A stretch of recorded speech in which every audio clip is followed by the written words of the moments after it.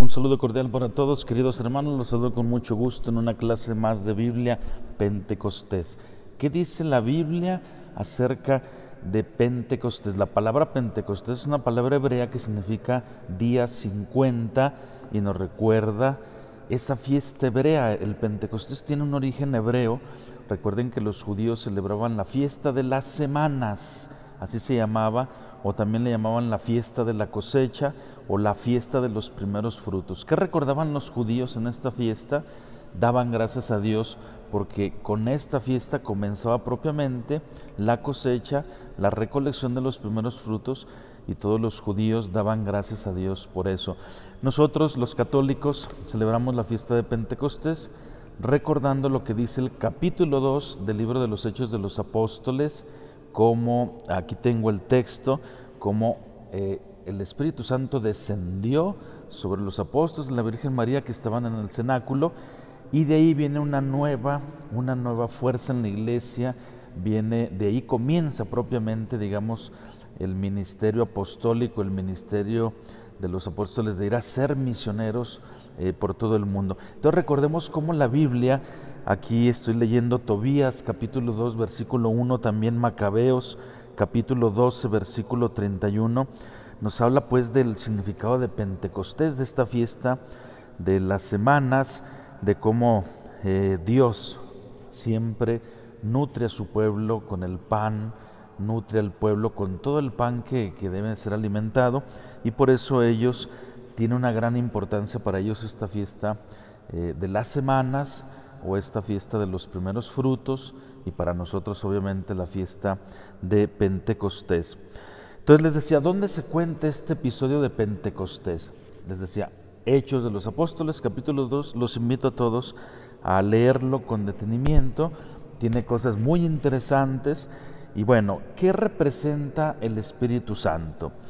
La Sagrada Escritura nos dice muy claro que es la tercera persona de la Santísima Trinidad, así lo entendemos en el Catecismo.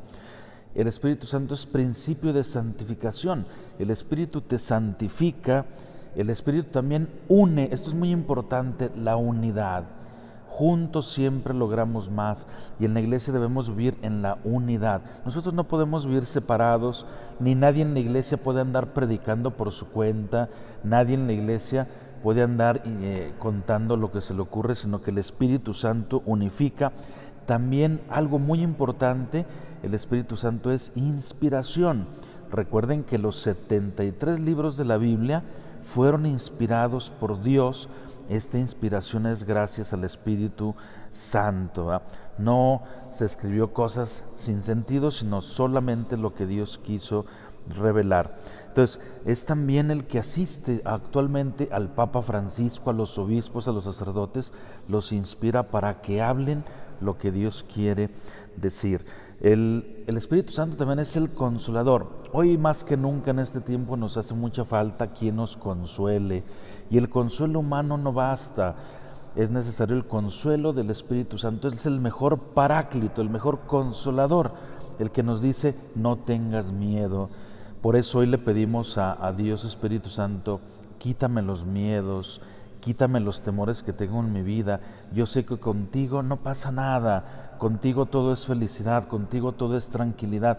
Por eso la fiesta de hoy debemos pedir al Espíritu Santo que venga y nos ayude en nuestra debilidad. Somos muy débiles, recuerden cómo Dios, nos dice el Génesis, nos hizo débiles, nos hizo frágiles, nos hizo de la tierra y por lo tanto pues debemos este, siempre estar llenos del Espíritu Santo para que nos vaya guiando hacia la alegría. El Espíritu Santo es alegría. ¿Cuáles son los dones del Espíritu Santo? Ya sabemos siempre, hemos aprendido desde el Catecismo y la Iglesia nos invita a reflexionar los dones del Espíritu Santo, sabiduría, inteligencia, consejo, fortaleza, ciencia y también la piedad y sobre todo el más importante de todos, el temor de Dios. Estos son los siete dones, es decir, lo que Dios te da a ti para que puedas vivir bien con sabiduría, con inteligencia, distinguir el bien del mal, el consejo, qué debo hacer en mi vida, qué no debo hacer, cómo aprender las cosas de Dios, cómo aplicar las cosas de Dios bien en mi vida. Son los siete dones que hay que pedirlos también a Dios. Aquí en la Sagrada Escritura eh, es muy interesante ver cuál es el símbolo del Espíritu Santo. Nosotros comúnmente lo pintamos con una paloma, porque así dice cuando Juan Bautista estaba bautizando a nuestro Señor Jesucristo, dice que descendió en forma de paloma. Pero la Sagrada Escritura hay que entender cómo eh, también en la transfiguración, recuerden que el Espíritu Santo aparece como en forma de una nube muy luminosa, una nube llena de luz. El Espíritu Santo también nos dice eh, los Hechos de los Apóstoles, aparece como lenguas de fuego, como un soplo. Eh, también el, el Espíritu Santo es lo que te hace vivir, es el oxígeno que te hace vivir espiritualmente. Incluso también podemos decir el Espíritu Santo es esa, esa oxigenación del cerebro cuando tú andas perturbado, deprimido, triste, andas desenfocado, andas con las pilas bajas emocionalmente, el Espíritu Santo te oxigena todo esto. Entonces la fiesta del Espíritu Santo, vean, es una fiesta muy bonita, es la fiesta del Espíritu Santo. Dice San Pablo una frase muy bonita, no entristezcan al Espíritu Santo. También dice San Pablo, no ridiculices al Espíritu Santo. Aprovecha el Espíritu Santo, Él te puede dar vida, Él es amor, Él es fuego, Él puede quemar todo lo malo en tu vida, el Espíritu te puede oxigenar el cuerpo, el alma, la vida. A veces andamos bien intoxicados en la vida, ahí está el Espíritu Santo, pídeselo a Dios. A veces andamos ahogándonos con nuestros problemas, pídele el Espíritu Santo a Dios. El Espíritu Santo es el que nos hace vivir. Nosotros no vivimos porque hacemos ejercicio, porque esas cosas son necesarias. Tú no vives porque te alimentas bien, también es importante, pero sobre todo porque vivimos gracias al Espíritu Santo. Por eso el Espíritu Santo es una luz que quita toda la oscuridad que traes en tu cabeza, todas las oscuridades que traes en tu vida. El Espíritu Santo es fuerza. Con el Espíritu Santo debes sentirte fuerte, no te desanimes, no te rindas con nada. El Espíritu Santo nos dice cada día, no te rindas. Yo estoy contigo para ayudarte, para santificarte y para llevarte hasta Dios. Este es el origen bíblico de la fiesta de Pentecostés.